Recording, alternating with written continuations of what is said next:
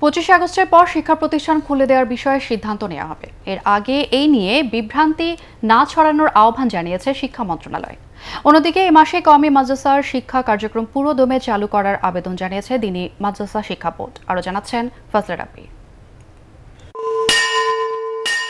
Corona ভাইরাসের সংক্রমণ ঠেকাতে সতেরো মার্চ থেকে স্কুল কলেজ সহ সব শিক্ষা প্রতিষ্ঠান বন্ধ রয়েছে।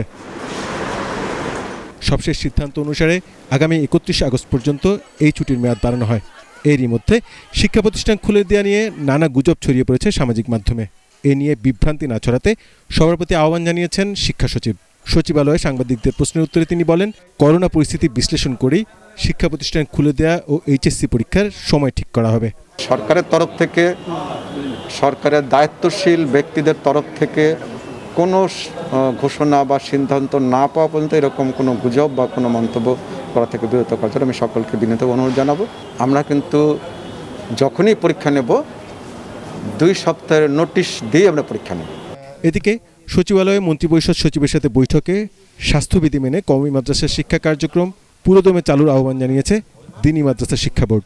আলিয়া মাদ্রাসার পরীক্ষার অনুমতি দেওয়া হয়েছে কামেল পরীক্ষা। আমাদের কওমি মাদ্রাসাতে স্বাস্থ্যবিধি মানাটা যত সহজ অন্য কোথাও এত সহজ না। আমরা আশা করতেছি আগস্টের শেষ নাগাদ পরীক্ষার ডেটটা ঘোষণা করতে পারব এরকম যাতে করতে পারি এই জন্য আমরা আবেদন করেছি।